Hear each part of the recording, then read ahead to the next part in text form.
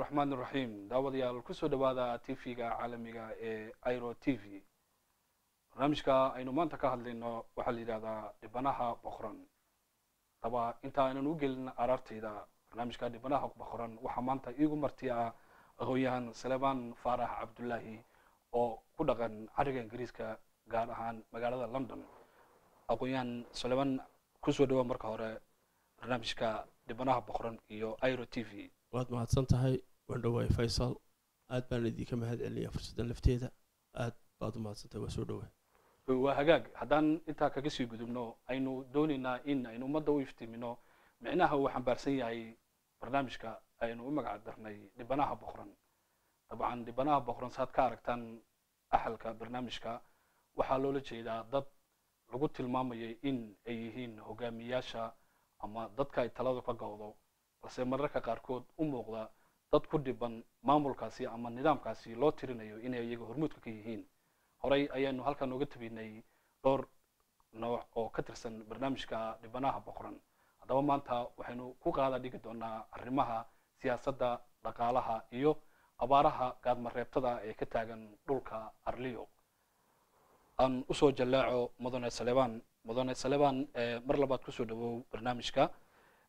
Waxaan doonayaa inaan wax kaa weydiiyo dhowr qodob oo maanta insha allah aynu la wadaagi doono daawadayaashayada. Waxaan ku hormarayaa arrimaha siyaasadda. Dabcan guud ahaan degelada soomaaliyeed waxaa ka taagan siyaasado badan oo isguraacan oo haddana isdiidan gaar ahaan dhulweynaha arliyo ama dhulka ummadda gadab bursiilaahay dhigay maanta waxaa ka jira iyaduna maamulo kala gedisan kuwaasi oo inta badan ay mararka qaar loo tiriyo in aysan shaqaba ku lahayn dadka loo tirinayay marka hore. Haddaan ku hormaro siyaasiyiinta reer awdal ee fadhigoodu yahay magaalada hargeysa. Maxaad inooga sheegi karaysaa qaabka ay oola tacaalaan mar walba oo ay dhibaato ka soo yeedho deegaladooda ama deegaanada laga soo doortay. Sida ay jawaab uga bixiyaan adigoo ku soo dhawaanaya. Faysal waad mahadsan tahay aad baan u dhowahay kolley anigu waxaan ahay nimanka siyaasiyiinta ee u janjeedha xagga somalilaanta su'aasha aad i weydiisana waa su'aal aada u wanaagsan because aniga lafteedii baa ku dhex jira. Xoog badanna aan isleehay waad ka haysaa.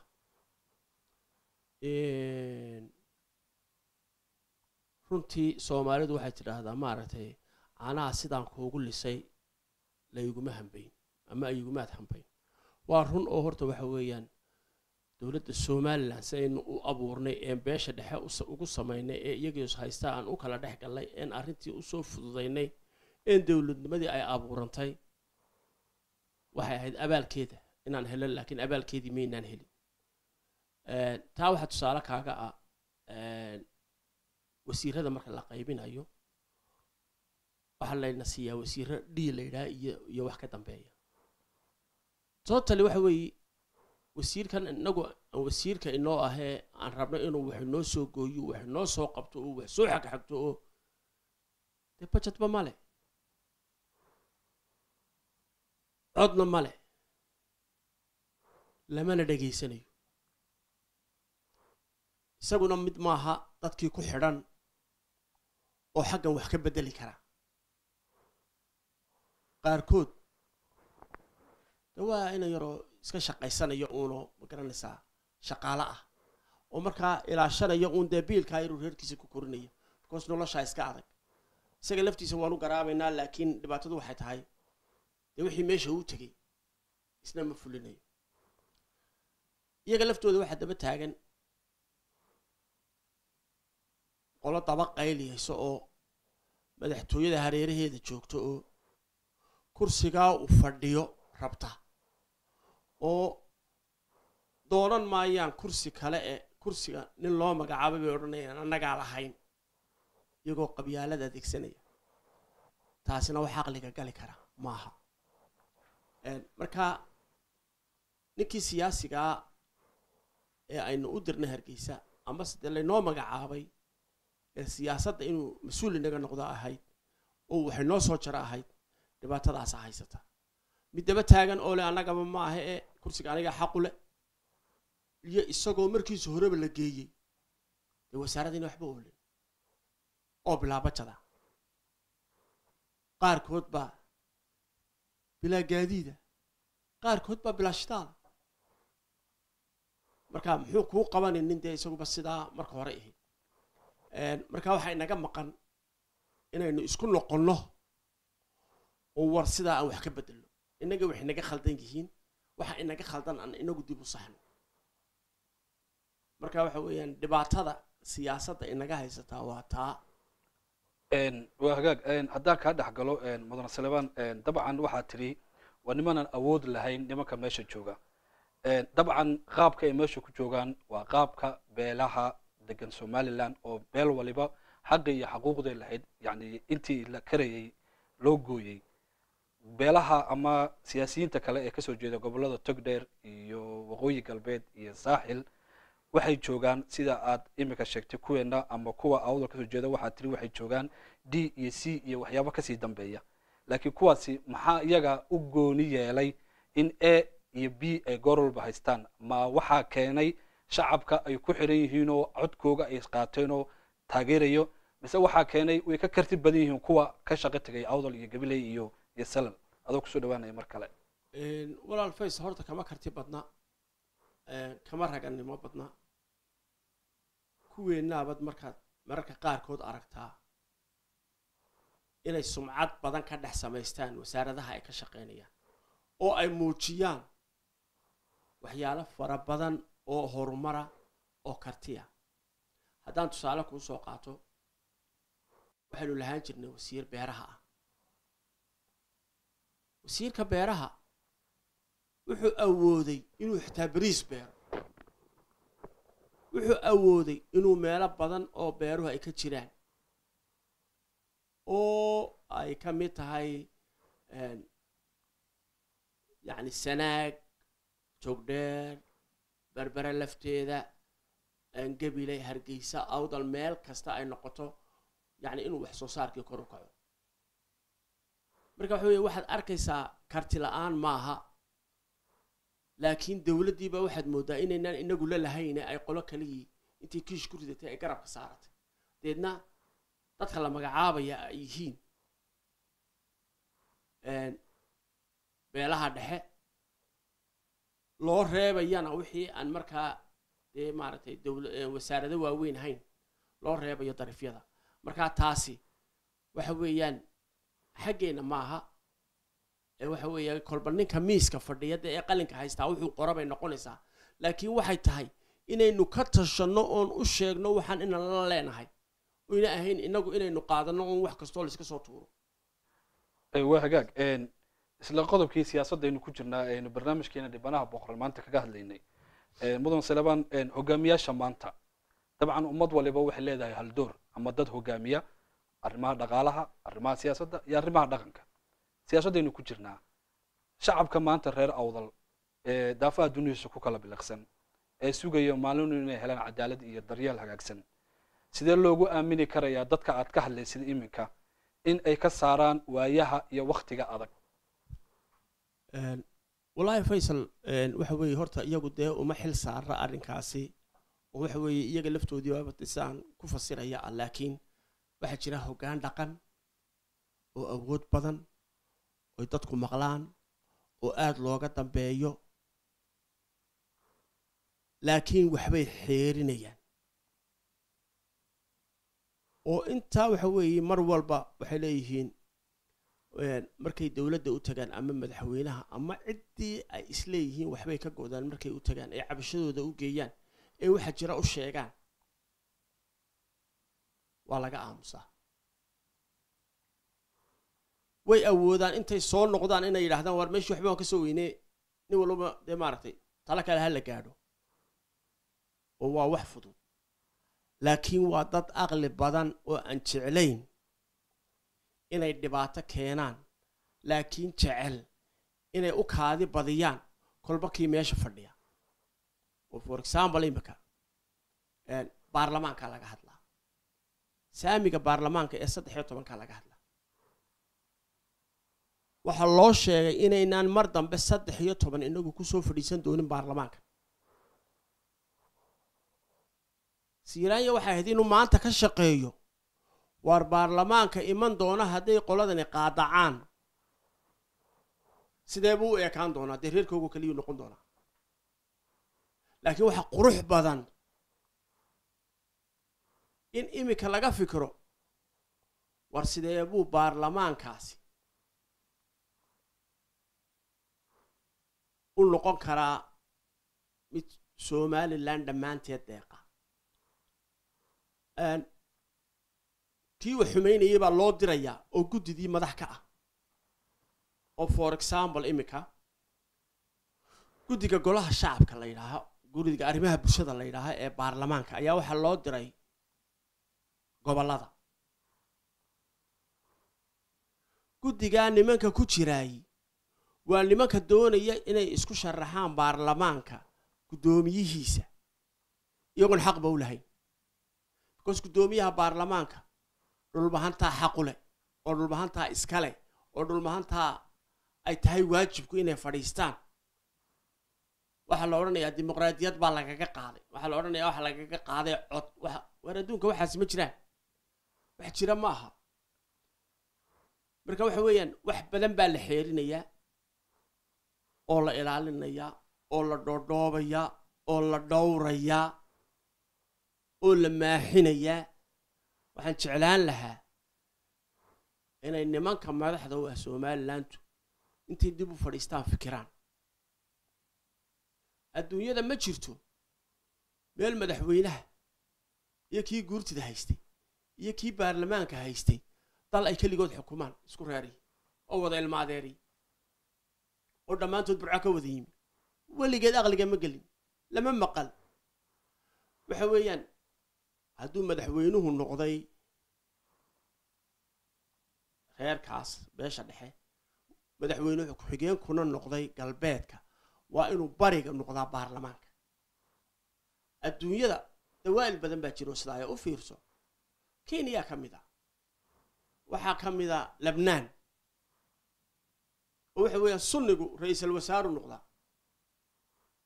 Kristanku madaxweynea laga dhigaa. Soo garan maysid. Yacni waxa weeyaan qolada kale ee maaragtay shiicadana waxaa la siiyaa ra'iisal baarlamaanka. Marka waa heshiis waa wax cad oo adduunka o dhan yaalla. Jabuuti ha loo fiirsado maxaa cafarta loo siiyey prime ministerka? Maxaa loo siiyey? Waayo muxuu cid ugu qaadan waaye war waxa weeye waxbaa la iska dhig indhatirayaa laakiin odayaashaasaa ma haddaa iskale waktigaa soo gaadhsiiyey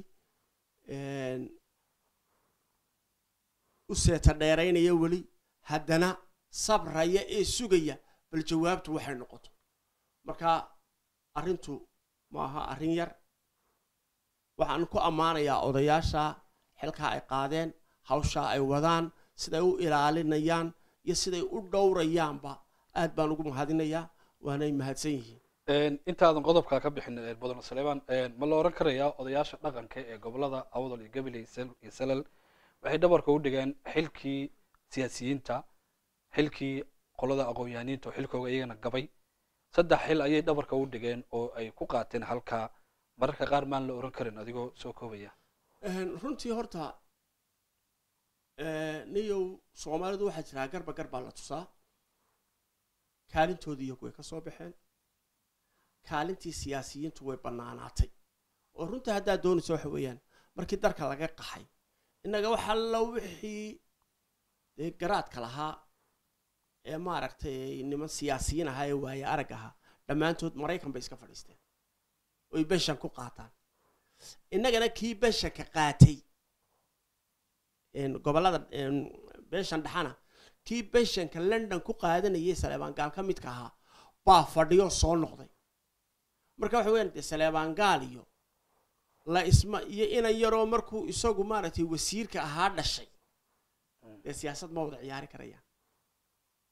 Marka waxa weya taasi siyaasiyiinteennii nimankii aqoon-yahankii ama siyaasiyiintii ayaad moodaa innaga inay hawada ka baxeen oo aad moodaysa un inay institution ay ka shaqeeyaan uun ay sugayaan qaarkood oo iyaga laftoodu dhaliil badan baa saaran laakiin dee odayaashu way dadaaleen kii siyaasiga waxay buuxiyeen kursigii siyaasiga waxay buuxiyeen kursigii odaynimada waxay buuxiyeen kursigii dhaqanka waxay buuxiyeen kursigii isku soo jiidkiya maaragtay nabadeynta somali somalilan aad baana ugu mahadinaynaa weli waxaynu ku guda jirnaa barnaamijkeeni dhibanaha boqran ee aynu kaga hadlaynay arrimaha siyaasadda dhaqaalaha iyo arrimaha abaaraha waxaa jiro arrin aad iyo aad cajaab oo ah dadkan aan fariir ku noqotay gobolka awdal iyo deegaanada inta badan soomaalida ka jirta caburin iyo xarig joogto ah oo lagu hayo dhalinyarada inta badan ka shaqeysa saxaafadda dhowaan waxaa ka dhacday magaalada boorama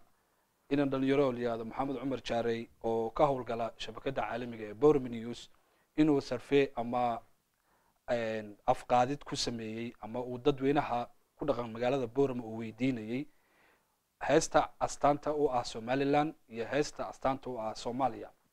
Dabcan dadkii meeshaasi waraysiga lagula yeeshay waxay ahaayeen dad isugu jira dad waayeela iyo dad meeldhexaada iyo dad carruur ah dhammaan waa la waayay hal qof oo heesta astaanta somalilan garta dhammaan waxay qireen heesta soomaaliya toosay ay soomaalida caan ku tahay inay wada yaqaanaan taasina tahay dad dhabta ee jirta.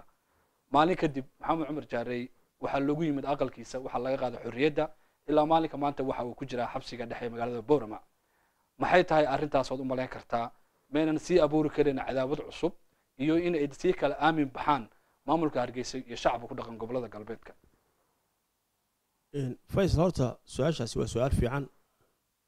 Inankaa maxamed cumar jaray anigu aan u sad burin lahaa. Inay somalilan xidigo ugu tushabay sababta waxa weeyaan waa xil dowladda saaran. Dadka inay heesta calanka barto oo ay barto calankan laftiisa kalarada uu leeyahay waxay u kala taagan yihiin oo ay barto in balamka calanku waxa uu ka taagan yahay amase dee sumadda dowladda ay leedahay waxa ay ka taagan tahay inankaasi su'aal wuxuu keenay arrin aad iyo aada u qaaliya oo aada u wanaagsan. Anugu runtii waxaan odhan lahaa somalilan xidiga ha ugu tusho inankaa iyadu laakiin xadhig bay ugu beddeshay. Haddaan kuu sheego haddii maanta la weydiiyo wasiirada dowladda ku jira calanka somalilan in badan baan garanay. Maxaa shacabka loo qabsanaya? Dowladda xilkeeda weeyi wasaaradda warfaafinta xilkeeda weeyi inay dadka fahamsiiso oy xafidsiiso oo ay heestu noqoto hees minka ugu yar ilaa ka ugu weyn u qaado. Haddaad og tahay soomaaliya tooso maxaa lagu wada bartay? Soomaaliya tooso waxaa lagu bartay iskuulka daabuurka subax kasta la qaadi jiray. Somalilan xitaa shicibku heesta way khaldaan kuwa xitaa waxoogaa fikiraya. Heesta way khaldaanoo hees waddaniga dhabta a la yidhaha bay u haystaan inay tahay heestii calanka laakiin maaha. Heestan samaku waar baa la yidhaa xasan sheekh muumin baa sameeyey. Dee laakiin ha sameeye madaxtooyadu u sameeyey. Madaxtooyadii ba isa soo dhaafin la. Marka anuu waxaan odhan lahaa inankaa xorriyaddiisa ha loo soo celiyo. Khaladu isagu yeelay sameeyey maaha. Waa khalad ay dowladdu leedahay. Inankaa weliba waxaan leeyahay abaalkiisa ha loo gudo waa hagaag. Isla qodobkaasaynu ku jirnaa ee xarigga loo geystay wariyaha. Waxaa ka sii darnada oo iyadana ashqaraar keentay isla shalay in dhalinyaradii ama dadkii la weydiinayo su'aalaha ku salaysan heesta astaanta iyagana in aqaladooda loogu tago oo dib loo xirxiray. Marka iyadoo ay arrinta sidaa tahay weli dadkii siyaasiyiintii gobollada ka soo jeeday kamaysan hadal dadkii gobolka u matalayay maamul ahaanna kamaysan hadal.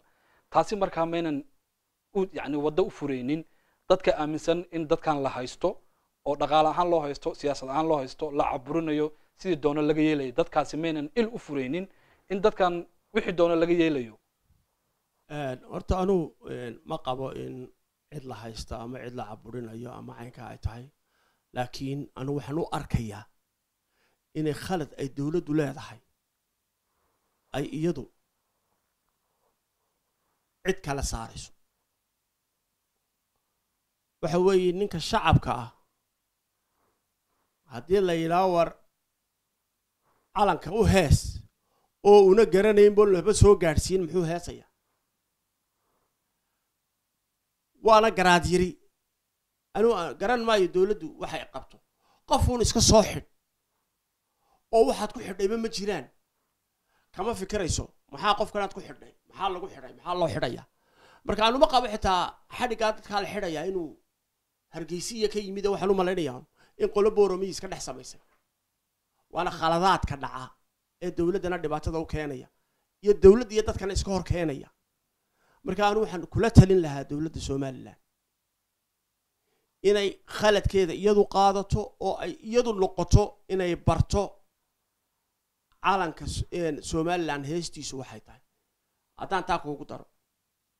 Iminka niman fara badan oo intellectual abaa waxay ku kulmeen sweden waxaa lagu qabanayay shir la ydhaha s s e somaliland society europe baa la ydhaha runtii aan umaan tegin oo kamaan qayb gelin laakiin faysal baa ka qayb galay cali waraabe waxaa ka qayb galay maaragtay professorkii baa ka qayb galay samater niman kaleo aada u fara badan oo aqoon-yahanaa tegay niman baradoo badan oo saaxiib nahay oo halkan joogaba iyaguna tegay oo ka qayb galay. Waxaa laga dooday eighteen may iyo twenty six may iyo twenty six june. Waa saddex waa shan iyo labaatan sannadood kadib ayaa waxaa la isweydiinayaa maxaa u dhexeeya eighteen may iyo iyo twenty six june? Waa yacni wasaaradda warfaafintu waa shaqadii ay qaban lahayd. Inay dadku fahmaan twenty six june in la dhashay. Nina laba jeer ma dhashay marun buu dhashaa. Eighteen mayna ay tahay maalintii lala soo noqday oo yunyankii laga yimid. Ilaa hadda waa la isku haystaayo laguma kala baxo. Tanna waa la mido. Heestii calanka maxaa maxay ahayd iyo heestii calanka maxaad u garan weyday? Dee waa waali kaleba waa wax ka sii daranba. Marka aanu dowladdu ma la yaabanahayba waa hagaag intaa haddaanu kaga sii gudubno qodobka hore ee aynu kagu falanqaynaynay arrimaha siyaasadda ee ka taagan geeska africa gaar ahaan degalada reer arlio waxaynu u geli doonaa qodobka arrimaha dhaqaalaha ka hadli doono insha allah. Mudane saleban haddaan mar kale kugu soo cesho microfonka guud ahaan dhulka soomaaliyeed waxaa lagu tilmaamaa dhul qani ah laakiin dadku ay sabool yihiin. Sababo jira aawadeed haddaan markaa aynu axalno ama aynu diiradda saarno dagaalada reer awdal dabcan dadka reer awdal waxay ahaayeen dad ku tiirsan dhaqaalaha wax soo saarka oo waxaa lagu tiriyaa inay ahaayeen dadka hormuudka ka ahaa soomaalida barnaamijkii la ohan jiray iskaa wax u qabso. Dadka reer awdal tan iyo intii gumaystaha waxay ahaayeen dad ku nool ama ku tiirsan dhaqaalaha ay cududooda kula soo baxaan. Caadana oo maysan lahayn in la caawiyo ama meelo kale wax uga yimaadaan. Dadka reer awdal tan intii qarannimadii soomaaliya burburtay waxaa isbedelay qaabkii dhaqaale ama ilihii dhaqaale ama kaabayaashii dhaqaale ayaa afka ciidda daray maxaad u malayn karaysaa sababaha ama waxyaabaha keeni kara in dadka reer awdal maanta la waayo inay qayb ka ahaadaan hormuudka dadka dhaqaalayahanada ee soomaaliyeed ama ku dhaqanba geeska africa bismi illaahi raxmaan iraxiim arrinkaa dhaqaalaha. Fays horta arrinta dhaqaaluhu dhulku waa dhul qaniya runta weeyaan aad buu qani u yahay. Laakiin dee qaninimada waxa wax weyn ka qaata dowladnimada. Oo waxa weeye ninkan saboolka ee buurtaa iska dul fadhiya ee macdantiisiina ay hoos taallo dee isagu hadduu awood u waayey waxa weeyaan waxay ahayd dowladdu. Inay project u samayso oo ay arrinkaasi wax ka qabato. Marka haddaad eegto dhaqaalaha somalilan gebigiisuba wuxuu ku xidhan yahay. Wax dibadda laga keeno dukaano bilicsan oo aada u qurux badan baa hargeysa ku arki ama booramo ku arki ama burco ku arki ama berbera ku arki. Dhammaan waxay iibinayaan waa isku wada mid. Sakadna raashin bay wada iibinaysaa sakadna dhar bay wada iibinaysaa. Developmentka dowladdaa laga rabaa. Wasaaradda qorsheyntaa laga rabaa. Wasaaradda horumarintaa laga rabaa. Waxa weeyaan markaad u fiirsato wasaaradihii baan dhaqdhaqaaqoogii ama shaqadoodii qabanayn oo waxaa kow ka ah. Dekadaha dalka. Dekad keliyaa shaqaysa. Taasuun baana la ogolyahay inay wax ka soo degaan. Waxaad arkaysaa dekadihii yaryaraa oo la cadaadinayo oo iyagoo marka horeba aan dekada hagaagsan ahayn oo wax weyn la keeni karaynin. Haddiiba ay yimaado doon yar oo maaragtay badda ku soo dhawaata dhulka ku soo dhawaataa oo ay gacmaha kaga soo guraan oo ay cashuurtii ogol yihiin. Baad haddana arkaysaa iyagoo cashuurtii lagu labalaabayo ama inan yaroo awood meel kale ka wato kasabka fadhiya wuxuu doono ku samaynayo. Qaarkood ka xeraynayaba oo uu muddo ka haynayo qaarkood leeyahay waalid ganaax marka waxaan jirin boolisigii dowladdiina tootali ku jirinba in dhaqaalaha hore loo mariyo. Kumaba jirtaba. Anuu reer berberaan ahaan jiray markii warshadda sawirka la dhisayay waxaa jira mashruuc kaloo weyn oo isaguna kalluumaysiga oo qaboojiyayaal iyo waxyaalo fara badan leh markaad u fiirsato warshaddaa sawirka runtii soomaalidu iyadaa dumisay. Oo waxa weeyaan weliba cid kale loo eedeyna reer berber iyagaa dumiyey.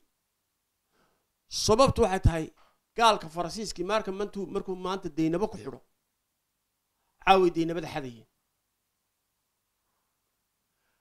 Haddana markii la soo noqday ee la yimid dowladdu waxay ahayd inay ganacsatada inay sheeri samayso. Oo ay iyadu la soo xidhiidho kambanigii faransiiskii ee bahashan dhisay. Halkan buu degan yahay. Waxba inooma jiro. Way u baahan yihiin bajetkii faraha badnaa ee ka galay laftoodu meelay ka soo saaraan.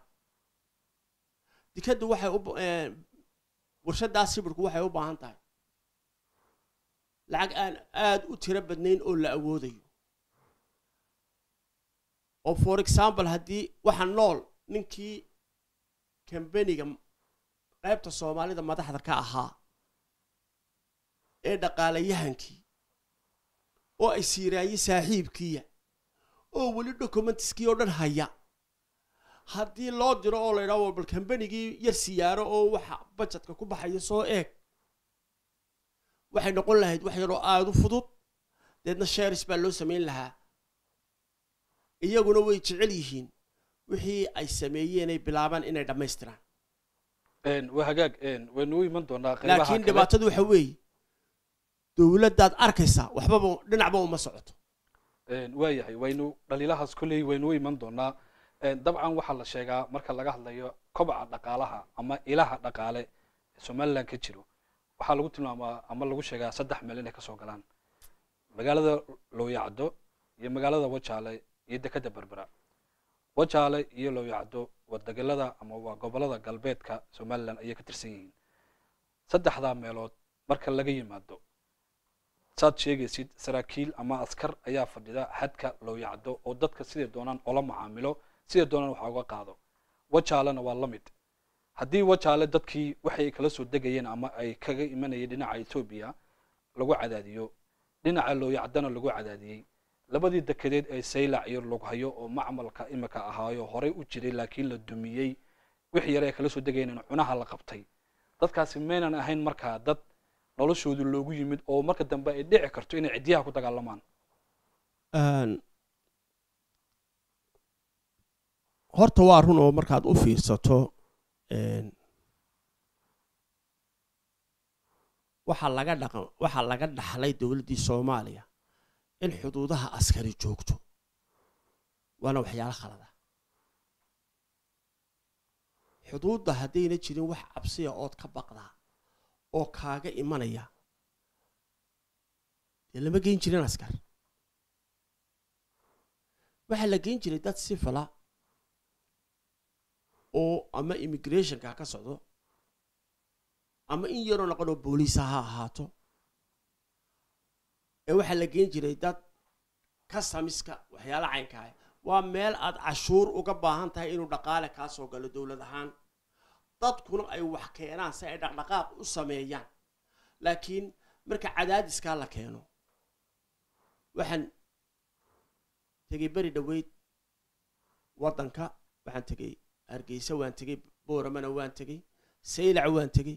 Waxaan arkay cabasho fara badan oo saylac taalla dadkan waraysto waxaan ku uhi war maxaa jira oo dee balbalii warrama waxay ku leeyihiin war doontii yareedee alaabta ka keenaysay jabuuti ama dhulkan meelahan yamanta ee halkan keenaysay baan la ogolayn.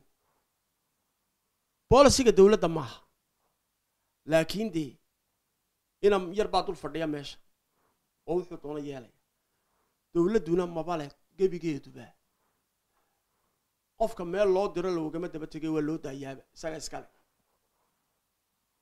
Marka waa dhibaatada dowladda. Dhaqaale ahaan dadkii markaa waxaa ku dhacaysa inay saboolaan oo dee ki yaraayee shilinka meesha marinaya marinaya marka la kadeedo waana dhammaantood waana wada jeeb jeeb yare wax dhulkaa maraay dee marka afar jeer shalinka jeer la kadeedo uguba iska daayiba marka dhibaatada dadka haysataa waxa weeyaan boolisiga dowladda ayaa khaldan oo u baahan in dib loo review gareeyo oo dib loo soxo waa hagaag. Qaybta ugu dambeysay ee barnaamijka dhaqaalaha ayaynu ku jirnaa. Mudane saleban dabcan magaalada borama waxay ka mid ahayd magaalooyinka waaweyne ee soomaaliya. Sideed tobanka gobol ee soomaaliya gaar ahaan marka laga hadlayo magaalada borama waxaa lagu tirin jiray inay ahayd magaalada labaad ee ugu soo wax soo saarka badan. Marka laga hadlayo canshuuraha waddanka. Magaalada borama waxay lahayd aeroboor caalami ah haba suu doono ha u dhisnaadee laakiin la xiriiro waddamada jaarka ah etoobiya iyo kenya iyo yemen etoobiya iyo jabuuti iyo meelo badan oo la mid ah. Madaarkii borama wuxuu noqday gelgelin meel ay xoolaha ku sheekaystaan ama ay isku weedaarsadaanba waayaha adag ee lafteeda meesha taagan. Mar sii horeysay dhowr sano ka hor wasiirka arrimaha duulistii hawada mar wax laga weydiiyey wax kaqabadka magaalada borama aeroboorkeeda waxa uu sheegay inaysan qorshaha ugu jirin saddex aeroboort waa ka borama iyo ka laascaano iyo kana ceerigaabo arrinta noocaas ah maxaad inooga sheegi karaysaa curyaaminta iyo isu socodkii bulshada iyo dhaqaalo abuurkii iyo kaabayaashii la filayeyba hor taagan. Kusoo dhawow. Wallahi horta airboordhada haddaan ka arko anigu horta imikana airboard weyn baan ka shaqeeya oo hitro baan ka shaqeeya. Airboardka booramana iyo airboardka hargeysana beri baan nimankii madaxda ka ahaan jiray saaxiib la ahaan jiray. Oo had iyo jeeraale xoogtooda aan hayn jiray. Waxa weeyaan beri dhoweyd boon tegey ayaa waxaan u fiirsaday bar airboordada iyo siday u shaqeeyaan. Aniga airboard ka hargeysaa aad buu iila qurux badnaa. Isbeddel badan baa lagu sameeyey. Inkastuu weli u baahan yahay talooyin kaloo aada u fara badan airboordada kale markaad tegto oo for example ka boram oo kale borama airboardkaasi seasonal baa horta inta badan uu ahaayo waqtiyada xagaagii ay reer jabuuti soo baxayaan wuxuu ahaan jiray airboordada buuminka ah ayaabuu ka mid ahaan jiray. Oo markay ugu yar tahay ama laba diyaaradood ama saddex diyaaradood bay isweydaaran jiray. Laakiin dhibaatadu waxay noqotay anugu waxaan u eedeeyaa wasiirkii duulista ee hore maxamuud xaashi. Bajetka airboardka somalilan wuxuu ka dhigay lix boqoloo dollar sannadkii. Lix boqoloo dollar. Oy saddex waardiye ama afar waardiye iyo laba kiliinar iyo iyo afar kaloo shaqaalo ah. Bal lix boqoloo dollar sanad u qaybi. Tobankaa shaqaalaha. Iyagaaba bakti oon tegayn. Xaajiyad yaroo waxaan ku arkay madow oo duuga oo weliba laygu yidhi iminkaa la soo iibshay. Anuu taa u malayn maa inay lacagga ku baxday meel baa laga soo qaaday totally waxa weeyaan war de shantii litira shidaalkii tan lagu shubayaba lama hayo. Bajadkii baaba lix boqol ba lix boqol toban qof u qaybi. Dee mushaharkoogiiba maaha waxaan arkay markaa meeshiio saddex askari afar askari oo military uni ay ilaalinayaan oo ay maalinba xafiis jebiyaan oo yidhahdaan roobkaan ka gallay. Waxa dhex yaallana ma askari baa kuu naxaya. Miiskii iyo kuraastii dee suuqa laga iibshay marka anugu taa waxaan dusha ka saaraa maxamuud xaashi. Waayo waxa weeye airbortka isagaa baabi'iyey ayaan anigu aaminsanahay. Because budget dee lix boqola bal adiguba bal lix boqol dee waaye intaa balka ka waran marka runtii lacagaha airboordrada lagu bixiyey waa lacaga aada u fara badan oo airbortka hargeysaha la geliyey baa la dhaha lacag aada u tiro badan. Ka burco waa la samayn karayey inkastoo la yidhi xaydaabba imika lagu oodaa ka boorama waa la samayn karayey ka ceerigaabo way samayn karaysa lacagtaasi. Dee waa meel maaragtay ninaan lexejeclo ka qabini. Wuxuu doona yeelaya wey waa hagaag.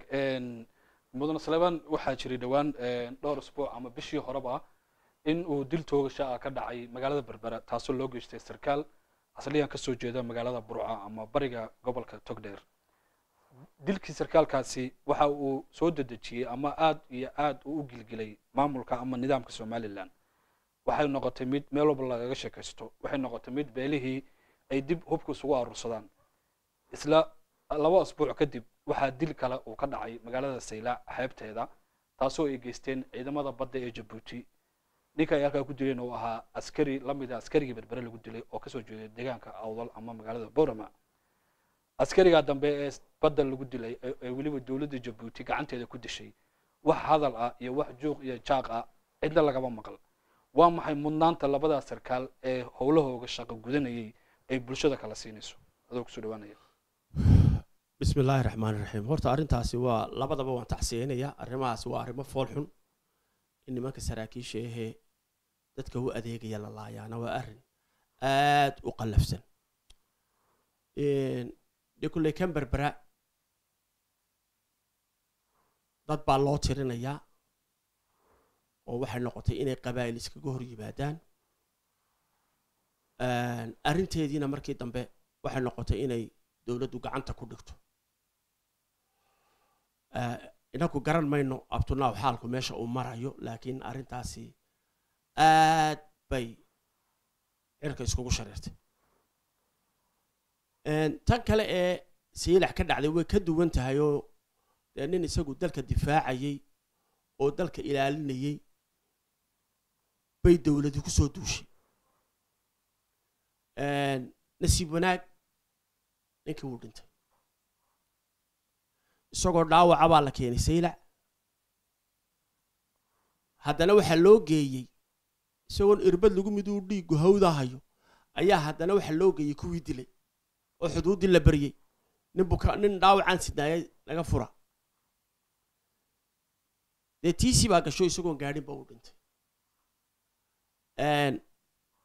Runtii dowladuhu way ka wada hadleen. Dowladda somalilan iyo dowladda jabuuti baa ka wada hadashay. Waran cadde oo ah wasiirka xukuma wasaaradda arrimaha gudaha ee hor hoos imanayay askarigu. Meydkiioo yaallow ag maray una xitaa odhan halkuu yaallaayay siduu u eegyahay aaskii buuna ka qayb gelin. Ama cid isaga xitaa matalaysaa waxay doonto ha noqoto xitaa sarkaal ha noqdo xitaa kii arrimaha xeebaha sarkaalkii xeebaha ha noqdo. Ama ha noqdo kii difaaca xeebaha kii gaashaandhigga kii booliiska haystay?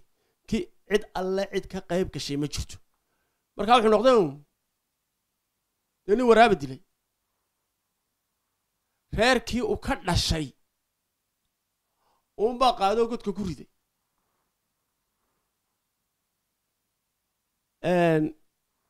Odayaal baan maqlayay markaa hadlayo oo runtii si fiican bay u dhigeen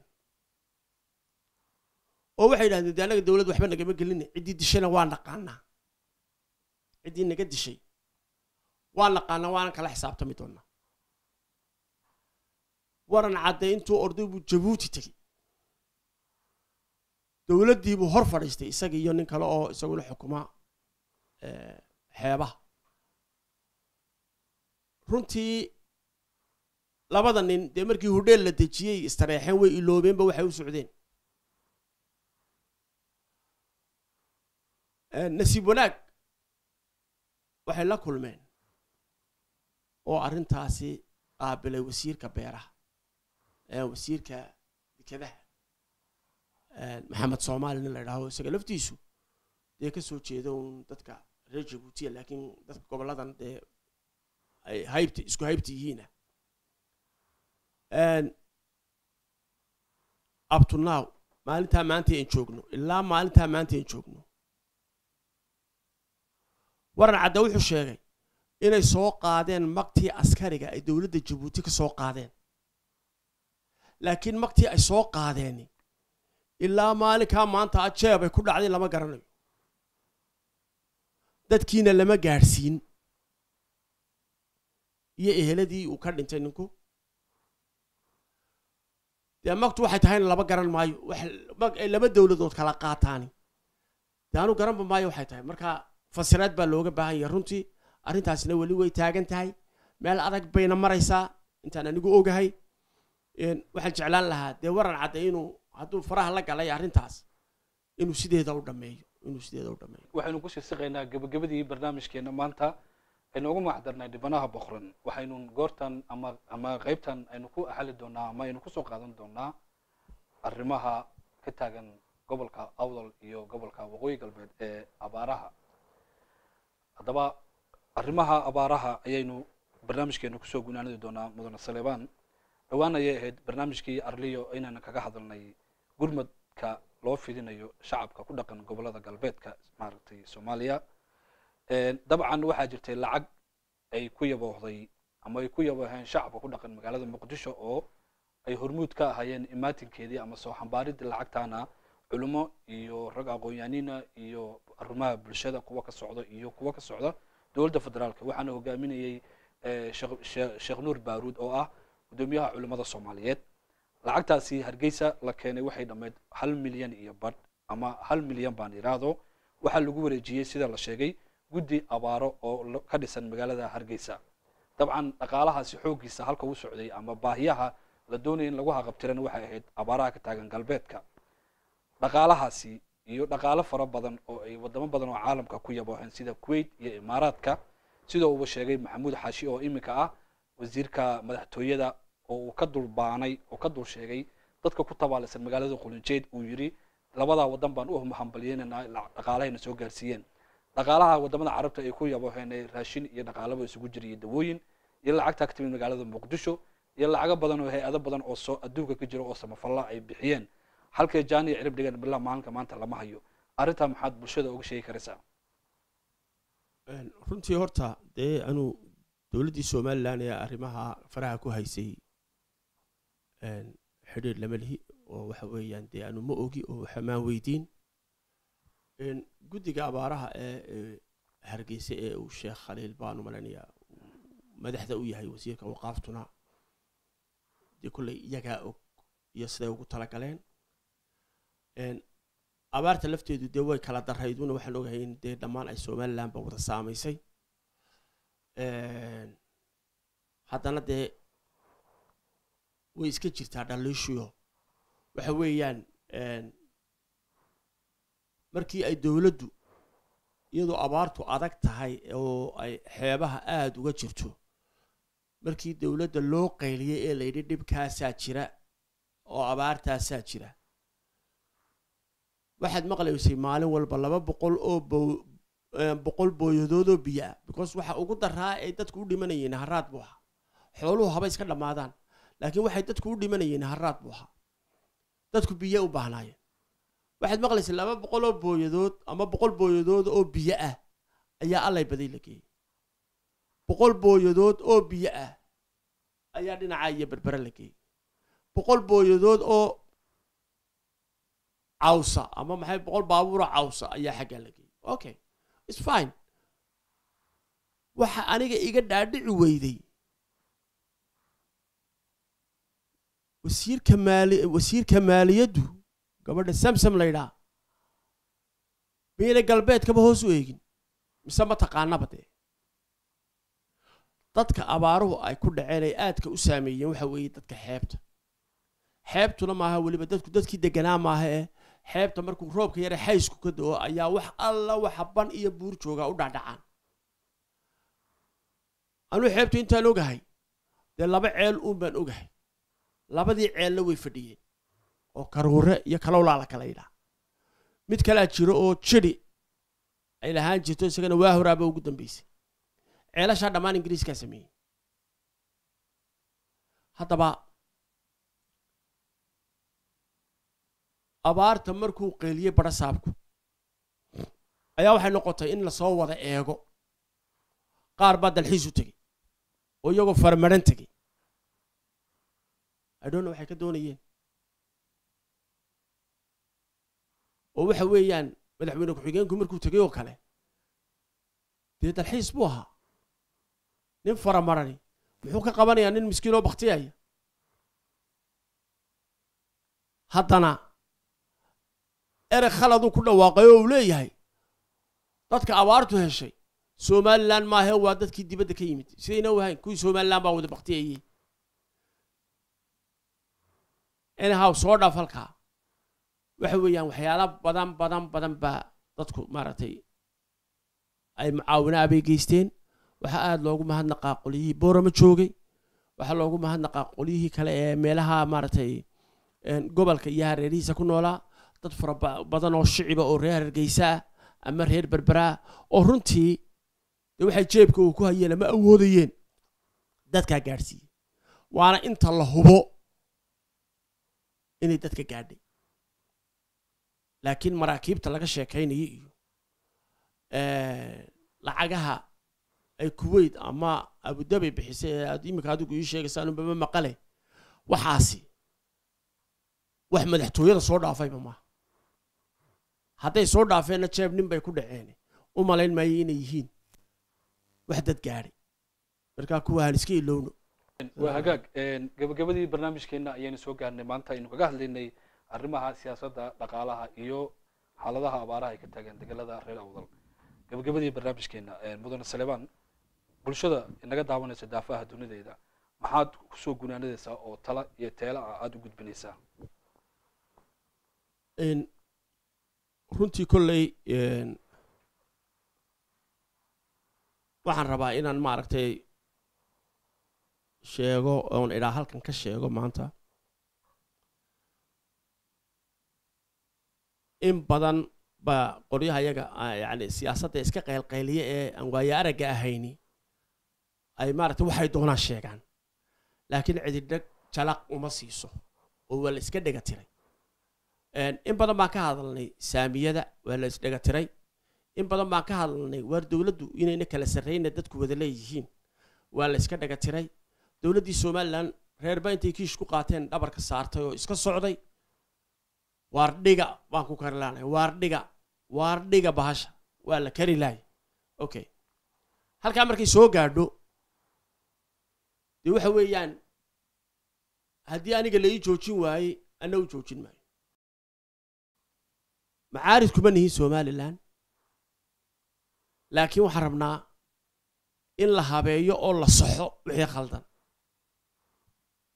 Marka qolyahaygii reer awdale dee meelaha ka qiilqiilaya ama wada sheekaysanayay siiba london iyo ingiriiska. Waxaan rabnaa dhowaan inaan qabanno shir weyn oo lagu casumi doono ilaa afar boqol oo qof oo samarka aan qaban doonno oo aan dhan walba kaga hadli doonno oo ay ka mid yihiin arrimaha bulshada xoog la saari doono iyo sidaan dadkaas dee wax ugu qaban lahayn ama u taakulayn lahayn ama maaragtay ay dee maaragtay aan wax uga bedeli lahayn xaaladda dhaqaale iyo xaaladda ay hadda taagan tahay. Ta labaadna waxa weeyaan in siyaasadda laga hadlo oo siyaasadduna ay noqoto. Qaar baa waxay u jeedaan xamar qaar baa waxay u jeedaan. Awdal state qaar baa waxay u jeedaan. Meel kale aan isku soo dabaalno oo bal la isqanciyo deedna wixii ka soo baxa ay noqoto in loola tago dadka ku nool boorama iyo gobolka gabiley ee ku nool hargeysa gudihii oo loola tago odayaal dhaqameedkii iyagu ahaa madaxii u sarreeyey ee gobolladaas iyo waxalla wixii siyaasiya iyo waxgarada ee danaynaya halka ay dantu ku jirto in loola tago oo deedna ay noqoto ay ka soo baxaan wax weyn oo anigu isleehay waa la isku wada raaci karaa. Inagoon cidnaba ka hor imanayn cidna wax ka duminayn cidna wax ku darsanayn laakiin dantu maxay ku jirtaa ay tahay marka waxaan waxaan jecelahay inay cid kastaaba ay diyaar u noqoto inay shirkaa ka qayb gasho haddii ilaha yidhahdo asalaamu calaykum waraxmatullahi wabarakatu waa hagaag. Intaa waxaan ku soo gunaanadeynaa barnaamijkeenii maanta aynu kugu falanqeynaynay arrimaha siyaasadda iyo dhaqaalaha iyo xaaladaha abaaraha. Waxaana iigu marti ahaa aqoon-yahan saleebaan faarax cabdulaahi. Barnaamijka waxaa isku soo dubaraday anigoo faysal cabdullahi xaaji cabdi. Xagga farsamada waxaa naga qaab waxaa inoo qaabilsanaa injineer gandi mudane aad baad u mahadsan tahay